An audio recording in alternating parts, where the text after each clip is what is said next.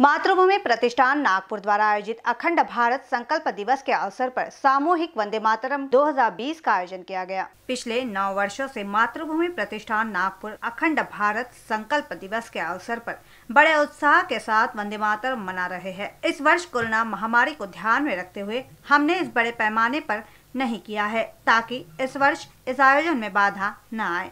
इस जगह पर हर कोई नकाब पहने हुए है। वंदे मातरम का सामाजिक दूरी को ध्यान में रखते हुए आयोजन किया गया था।